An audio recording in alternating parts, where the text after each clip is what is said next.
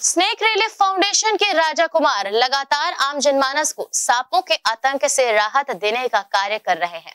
इसी कड़ी में महका खुर्द उतई में लगातार दो दिनों से रसेल वाइपर से आतंक मचा रहा, जिसके बाद स्नेक रिलीफ फाउंडेशन के राजा कुमार को संपर्क किया गया और राजा कुमार चंद मिनटों में ही वहाँ पहुँच गए।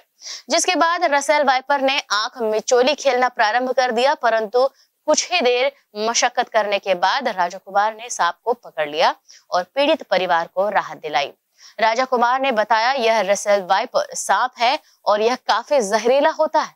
उन्होंने आम जनता से अपील भी की है कि कभी सर्प दंश की शिकायत किसी को हो तो वह ओझा गुने के झाड़फूक के चक्कर में न पड़े, सीधे अस्पताल पहुँचना ही उनकी जान बचा सकता एक सांप है जो सीधा बच्चा देता है और ऐसा कोई भी सांप काटे तो सीधा डिस्ट्रिक्ट हॉस्पिटल ही जाए। कोई झाड़ फूक, देसी इलाज के चक्कर में ना रहे, नहीं तो जान जा सकती है। अब हम इसे पैक करते हैं।